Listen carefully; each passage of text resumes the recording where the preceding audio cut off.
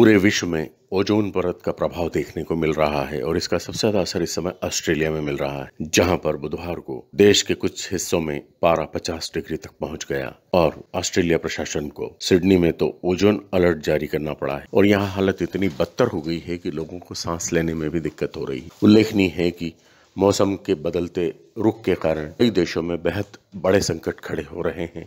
कहीं बहुत ज़्यादा बारिश हो रही है तो कहीं बहुत ज़्यादा गर्मी और इस समय सिडनी सहित ऑस्ट्रेलिया के कई इलाके बेहद गर्मी की चपेट में आ गए हैं। वहाँ की सरकार भी इस पूरे मामले को लेकर बेहद चिंतित है और इसी वजह से ओजोन अलर्ट जारी कर दिया गया है। नमस्कार दोस्तों, अगर आपने अभी तक हमारे चैनल को सब्सक्राइब नहीं किया है तो अभी सब्सक्राइब करें और साइड में बेल आइकन को ज़रूर दबाएँ, जिससे घमासान से जुड़ी हर ताज़ा अपडेट्स आप तक सबसे पहले पहुँचे।